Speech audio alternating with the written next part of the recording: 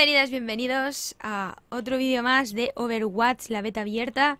Esta vez os voy a traer a Zarya. Este personaje es tochísimo, me gusta muchísimo. Bueno, esta es la skin que, que le he puesto, pero bueno, vamos a poner la clásica. Me gusta mucho, pero me cuesta mucho llevarla. Todavía no le pillo muy bien el truco, pero vamos a verla, os la voy a presentar más o menos y cómo la estoy llevando yo y estoy intentando aprender a llevarla. La definitiva de Zarya es bomba de gravedad. Lanzas un pozo de gravedad que atrae a los enemigos. Estáis en un grave problema.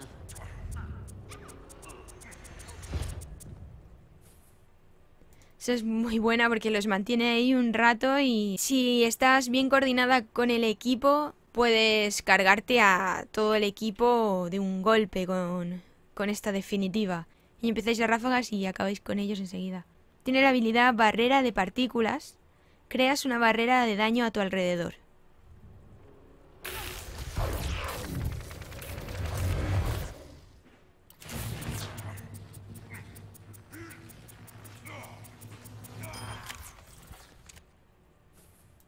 Lo que tengo entendido de esto es que no te hace daño, absorbe el daño y tú haces más daño con tu arma. Aún así lo intento llevar a la práctica y me es bastante complicado porque la barrera de partículas dura muy poco y si te la pones y nadie te dispara en ese momento eh, no, no sirve de nada y luego te disparan cuando te la quitan es complicado, tienes que ponértela cuando te están atacando, tiene que absorber daño y tienes tú que atacar. Tiene que haber una coordinación ahí bastante importante. A mi parecer, según cuando la he llevado, me cuesta bastante. Luego la otra habilidad es barrera proyectada. Creas una barrera de daño alrededor de un aliado.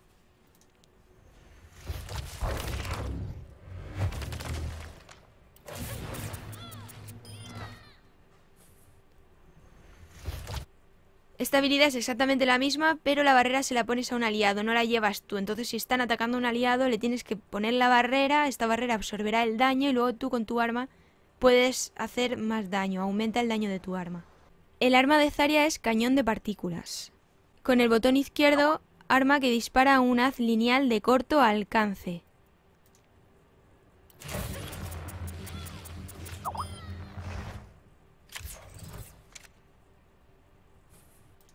Es importante lo de corto alcance, porque cuando disparas el rayo se ve como que llega lejísimos y da la sensación de que les estás dando, pero no les estás haciendo daño. Entonces realmente es de corto alcance, tienes que estar bastante cerca para hacer daño y según tengo entendido cuanto más tiempo le estés dando el daño aumenta. Y luego con el botón derecho lanzas granadas de energía.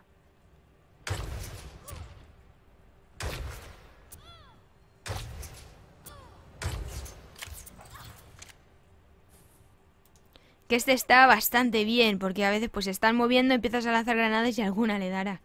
Vale, y la pasiva, energía. El daño que bloquean las barreras aumenta el daño del cañón de partículas. Eso es lo que me refería yo con lo de las barreras, ¿no?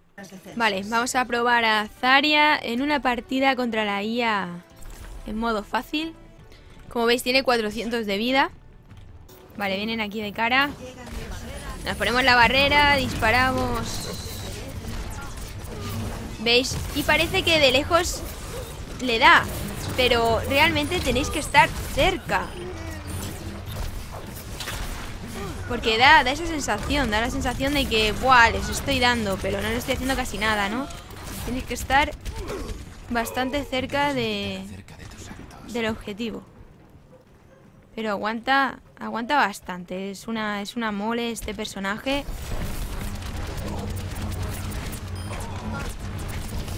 Ahí está.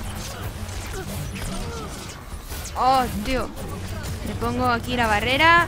Le pego. Se cura. Qué maldito. Sigo pegando. No me queda barrera. Como veis, me cuesta bastante llevar este personaje. A ver, que esto es un poco lioso. Toma bomba. Vamos a enviarle granadas. Granada, granada. Como veis, aguanta, aguanta muchísimo. Lo que más tiene es eso, que, que aguanta mucho los golpes. Y para hacer daño, lo único que tiene que estar bastante cerca. hay que jugar con a la hora de poner los escudos. A la hora de ponérmelos yo y de ponerse, por ejemplo, aquí se lo pongo a la compañera. Y el daño que le hagan a ella aumentará el daño que yo hago. ¿Lo veis? Yo me la pongo, el daño que me hagan a mí aumentará el daño que haga yo. Ay, y ahora cojo y les tiro aquí la, la bola esta. Tenemos ahí. Eso es. Y así se lleva este personaje. Hay que estar atenta a ponerse el escudo cada vez que nos estén atacando y tenerlo cargado. Y de poner el escudo a los compañeros cuando les estén atacando.